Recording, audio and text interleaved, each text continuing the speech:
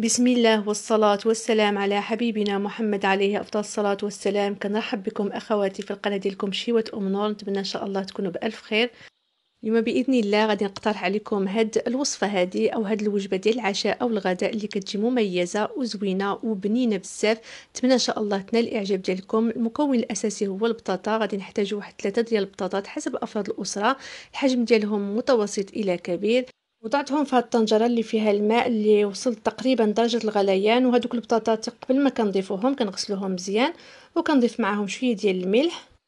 هنايا من بعد ما دازت واحد المده ديال الوقت على حسب الحجم ديال البطاطا على النار اللي كتكون متوسطة.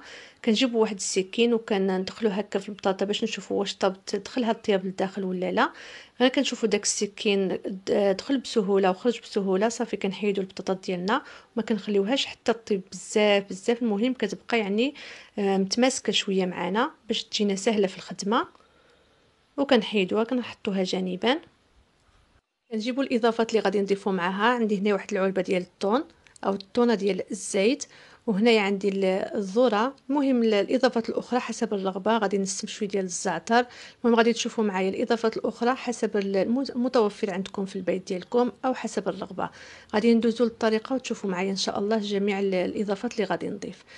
غادي نشدو هاد البطاطا نحيدو ليها القشرة ديالها.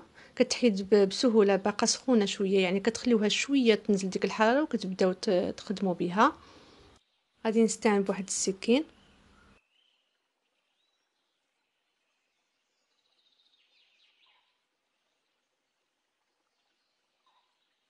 هنايا أخواتي كيف كتلاحظوا بعد ما نقيتهم بثلاثه حيت ليهم ديك القشرة. في هذه المرحلة أخواتي كنجيب واحد السكين اللي هو كبير وكنقسمو كل بطاطا كنقسموها على جوج بهذه الطريقة.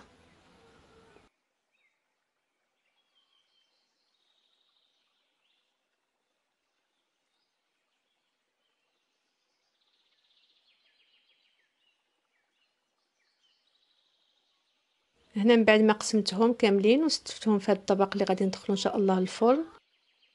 كنجيب واحد الإناء اللي هو صغير غادي نديرو نوجدو فيه الخلطة ديالنا اللي غادي نضيفو مع هاد البطاطا. هنايا بغيتو تضيفوا هاد الزيت ديال الطون ممكن اللي بغى يضيف هاد الزيت يضيفها. أنا غادي ندير زيت الزيتون إن شاء الله.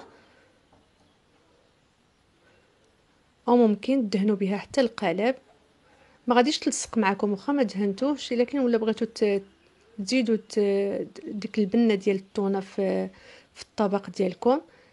هنا كنضيف واحد الكمية ديال الذره واحد نصف علبة تقريبا.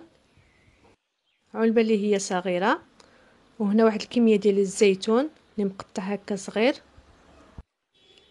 الكمية كتبقى حسب أفراد الأسرة أو حسب الرغبة أو حسب المتوفر. كيف قلت لكم أي مكون عندكم بغيتو تضيفوه تضيفوه. هنايا عندي لا كانت عندي في الثلاجة ضفت واحد المعلقة اللي هي صغيرة ممتلئة.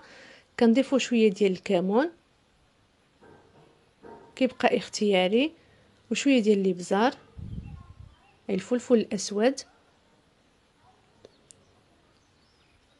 وشوية ديال الزيت الزيتون. كتضيفوا واحد الكمية ديال زيت الزيتون. كتواتى بزاف مع هاد البطاطا فاش كتكون مسلوقة عفوا. وغادي نخلط هاد العناصر. قبل ما نخلط نسيت ما ضفتش الحار. نضيف واحد الكمية حسب الرغبة ديالكم ديال صلصة حارة أو ديروا شوية ديال السودانية. اللي متوفر عندكم. وكنخلطوا هاد العناصر ندمجوا بيناتهم. بغيتو تضيفوا حتى الكاشير بغيتو تحكوا في الحكاكة. أي مكون بغيتو تضيفوه هنايا حسب الرغبة ديالكم. أو البيض مسلوق حتى هو تحكوه يعني تضيفوا حتى البيض مسلوق. هنايا غادي نزيد شوية ديال زيت الزيتون. غادي نضيف غير شوية نزيد. كتنسم لينا ديك البطاطا. والملح ما غاديش نضيف هنا الملح لأن الطونه مالحة وحتى الذرة. الملح كنضيفو غير البطاطا. في الأول درت ليها شوية تسلقات مع البطاطا. دابا هنايا غادي نضيف شوية فوق منها. قبل ما نضيف الملح غادي نجيب واحد السكين ونفلحو شوية البطاطا ديالنا في الوسط بهذه الطريقة هذه نفلحوها هكا في الوسط أو كنرشموها هكا بالموس باش تنسم لينا مزيان. ودخل هذوك التوابل وداك زيت الزيتون.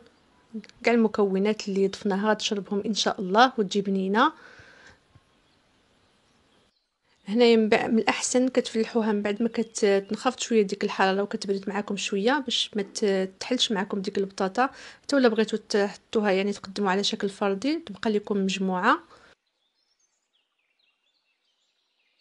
ودابا غادي نزيد شوية ديال الملح.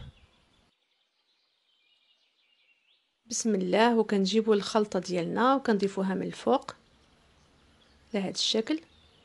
ممكن تضيفوا الصلصة الحمراء أو الصلصة البيضاء كيبقى حسب الذوق كل واحد وممكن تفنوا فيها كيف بغيتو.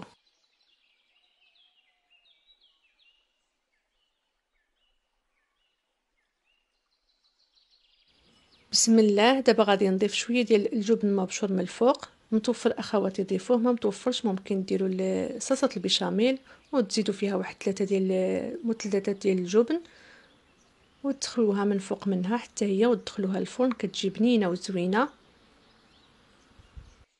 هنايا من بعد ما درت الجبن الكمية اللي عندي غادي نضيف شوية ديال الزعتر غادي نسم بالزعتر.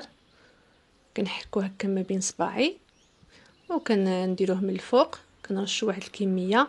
راني شاعله الفرن دابا الفرن سخون غادي ندخلها الفرن وغادي نشعل ليها من الأسفل ومن الأعلى. اللي عندها الفرن كيشعل غير من جهة واحدة كتشعل الفرن من الأسفل حتى يسخن معكم الطبق مزيان. ديك البطاطا تسخن معكم تدخلها السخونية مزيان. ديك الساعة كتشعلوا من الأعلى يذوب معكم هذا الجبن وياخذ واحد اللون اللي هو ذهبي وكتخرجوا على النار اللي كتكون هادئة. واحد الملاحظة أخواتي ديك البطاطا ما تخليوهاش حتى تبرد عاد دخلوها الفرن خدموا بها دافية ودخلوها الفرن باش ما تقصاش معاكم بسم الله. رجعت معكم أخواتي وهذا هو الشكل النهائي ديال الطبق ديالنا. كيف كتشاهدوا الطبق ديال البطاطا أو غراتان بطاطا والطون اللي كيجي أكثر من رائع. كتجي ديك البطاطا طايبة من الداخل ومنسمه بزيت الزيتون والزعتر والجبن. آه، بنينة أخواتي واحد الرائحة في المطبخ يعني كتشهي. ممكن تقدموا هكا أو ممكن تقدموا على شكل فردي. بسم الله. غادي نحيد لكم باش تشوفوا كيف كتجي كتبقى ديك البطاطا كتبقى مجموعة. كيف كتلاحظوا حتى داك الجبن كيزيد كي كيخليها تجي متماسكه كيف كتشاهدوا؟ وداك الطبق كيف كتشاهدوا من الأسفل ما دهنتو ما والو ما كتجيش لاصقة معكم ديك الزيت كتنزل حتى هي لتحت. بسم الله غادي نزيد نحيد معكم واحدة أخرى. قلبت لكم هنا الكاميرا وزدت لكم شوية في الضوء